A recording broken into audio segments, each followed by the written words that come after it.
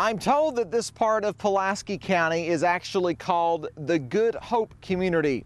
And I'm told that now this community will live up to its name, providing help for a family that lost everything. Relatives say Brian Ping was lucky to get out alive when he saw something explode in his fireplace about 8 Tuesday morning. My heart feels goes out to the family of the guy that the Ping boy that lived there. I mean, I knew the family, and uh, it's just a sad time this time of the year. Ronald Larkin has lived in this part of Pulaski County for more than 50 years, and he's seen his neighbors step up to help each other many times. Knowing the family and things would try to donate, take up collections, or find out what their needs is and try to help them in some way or another. This Ping's family says he escaped with only the clothes on his back suffered a burned arm and a leg. Firefighters aren't sure how it started. Dispatch original call, I believe, said that it was coming out of the fireplace, but I think that was their original call on it. Ping was able to pull vehicles and a boat away from the flames, but everything else was lost. Well, this time of the year, I think it's very sad. It's sad any time of the year, but this close to Christmas and it's just terrible to lose your home and everything you've got. I mean, I just can't imagine. Well, relatives say that they feel for Ping, but also his 10 and 16 year old boys who lost many of their possessions. In Pulaski County, Phil Pendleton, WKYT. Moments after his wife lay in her bed with two gunshot wounds. 911. I just shot my wife. Chris Chumley called police. What happened again? I just, you need to come out here. Tell me what happened, sir. Give me a place. County I'm under arrest. From jail, Chumley says he shot his wife with a 32 handgun because she was terminally ill with breast cancer. I shot her. Did you kill her?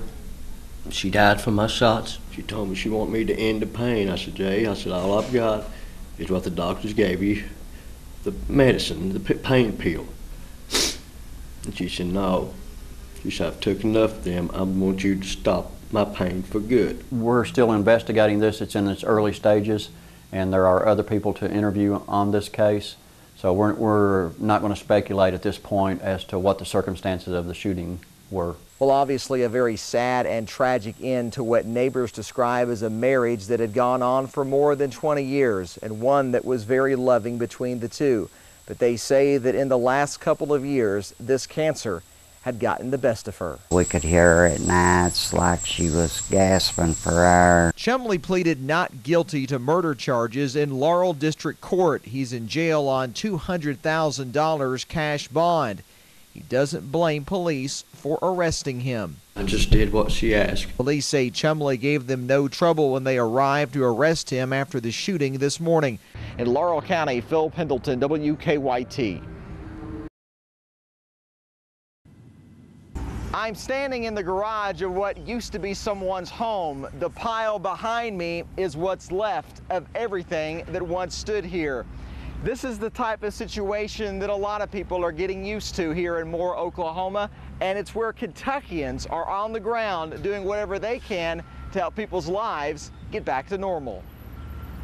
Don McGowan is a retired truck driver from Cynthiana, but today he's a Red Cross volunteer. He and a few others made the 13 hour drive to provide disaster relief near the schools and Moore, also where the tornado inflicted the most damage. He's been set up near the elementary school where there's a makeshift memorial of wooden crosses where children were among the victims. McGowan has worked numerous disasters, but he says he's never seen anything like this. It's really hard to comprehend. You look at things and you think, how would you start over? You know, this is my whole world in a pile like behind me. It's hard to, we don't realize how fortunate we are day by day that we're not involved in things like this. Some of the volunteers arrived just a couple of days after the tornado touched down. Others got here a couple of days ago. At 11 o'clock, we'll have much more on what Kentuckians are doing here. In Moore, Oklahoma, Phil Pendleton, now back to you. Needless to say, it has been a very stormy and a very dangerous night for some here in Oklahoma City. It's here where Kentuckians are trying to help people recover from the May 20th storm and a day in which a new round of storms cut the work early. The skies over Oklahoma City took on an ominous look Friday afternoon as Red Cross volunteers were told to cut their workday short. And they're talking about trying to have everybody in roughly about 3 o'clock or so. They're already pulling some of the groups off because of the weather's changing again. Summer storms are serious business in Tornado Alley, and volunteers know that all too well, especially from what they've seen these past couple of days. More aware of what can really happen. You don't think that your house can just be totally blown away, and it can be. Russell Hoff of Lexington is on his first disaster relief mission for the American Red Cross. He's feeding victims and other volunteers. Don McGowan of Cynthiana is providing first aid and health services. He's taken back by the resiliency of the people that have lost everything and from hearing about their survival stories. And they could actually feel the tornado go over their house. They were physically holding down the door of their shelter. Knowing that they've seen something they may not ever see again. You're looking at solid miles straight of nothing but piles of debris. Some of the houses look are just toothpicks.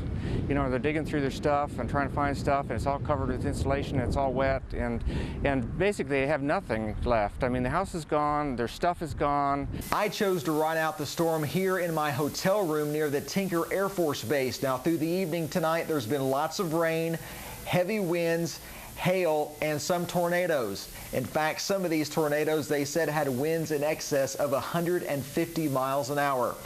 In Oklahoma City, Phil Pendleton, WKYT. Brad Reynolds grew up in Whitesburg. He's a Kentucky Wildcat fan. He went to Rick Pitino's basketball camp as a kid, but today he's a freelance photographer for the Weather Channel, and he says he's lucky to be alive. Reynolds and his crew were traveling on Highway 81 near El Reno when the skies turned treacherous and funnel clouds began forming. He says the purpose of what they do is to find tornadoes and inform people of the dangers coming their way. But Friday afternoon, he says the danger literally found them. I remember it was really quiet, and then I was just holding on to anything I could, just trying to brace myself for the for the fall. Wow. Uh, any? I mean, you look fine. I mean, any, any injuries? Uh, I got some, like bruises on my back, but I don't know. I don't know. I should have been. I should have been dead. There were three people in this car when the winds picked it up and carried it the length of two football fields. Now, Reynolds tells me he knows how he survived the crash. We'll tell you what his reasoning is coming up at 11 o'clock. But for now, in El Reno, Oklahoma, Phil Pendleton, WKYT.